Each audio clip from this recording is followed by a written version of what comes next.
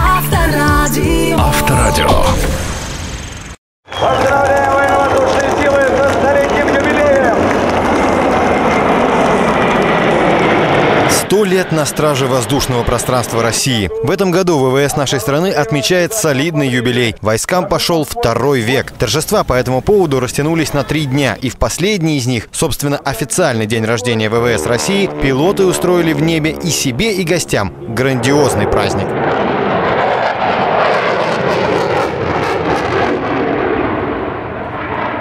Перед вами самый первый самолет ВВС России, а заодно и вообще первый в мире серийный самолет «Форман-4», вернее его точная копия. Этим аэропланом управляли все военные летчики с 10 по 18 годы. Говорят, Сергей Павлович Королев связал свою судьбу с небом после того, как увидел именно «Форман-4». Сегодня энтузиасты и просто любители авиации с гордостью заявляют, им удалось повернуть время вспять, оживить умершую легенду воздуха. Это аэроплан, который впервые увидели жители Российской империи в 2010 году.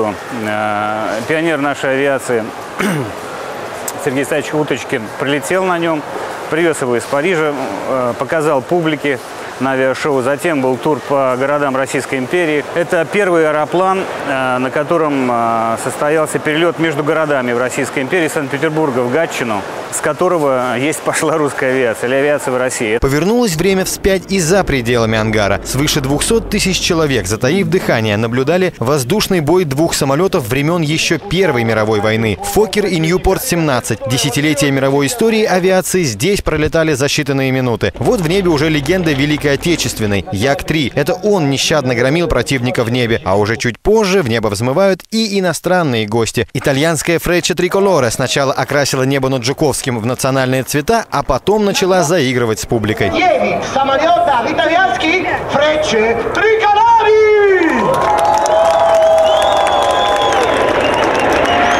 Опустившись с небес на землю, эти бравые парни и здесь купаются в любви зрителей. Как признаются сами пилоты, несмотря на феерию их программы, здесь они на вторых ролях. У российских коллег многому еще нужно учиться. Мы с огромным удовольствием приезжаем в Россию. Здесь нас очень любят, и мы тоже очень любим вашу страну. Вообще мы довольно часто пересекаемся на подобных авиашоу, но везде европейцы гордятся тем, что вытворяют экспрессивные русские парни на МиГ-29 и Су-35. А это уже пилоты из Великобритании «Красные стрелы» поздравляют своих российских коллег. Затем поляки, эстонцы и, наконец, в небо взмывают один за другим гордость российской авиации – Т-50 и МиГ-29. За полетом этих крылатых властелинов неба наблюдали все пилотные группы, ветераны ВВС и, конечно, десятки тысяч зрителей. Но особенно активно наблюдали китайские журналисты. Объективы их фотокамер были едва ли не больше их самих. Свое уважение к новейшей российской авиатехнике высказали ведущие мировые державы, а немцы в этот момент даже заговорили по-русски. Добрый день, Э, я полковник Торстен Köhler, я военный воздушный атташе посольства Германии. И потому что мой, мой э, э, русский язык Edde Otschenblocher, jak aber angliski. ВВС России это мировая марка. Лично меня эти парни очень впечатляют. В воздухе они могут абсолютно все. Это шоу, которое мы видим сегодня. Взаимное признание в любви пилотов и зрителей.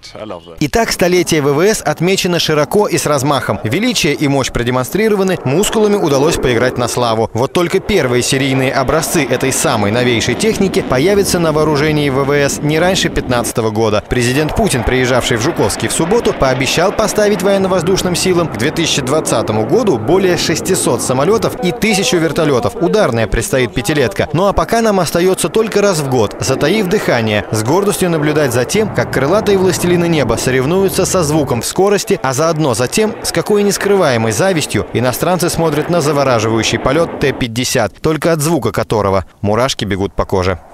Сергей Страхов, Вадим Савин и Андрей Граль. Авторадио. Москва. Авторадио. Авторадио.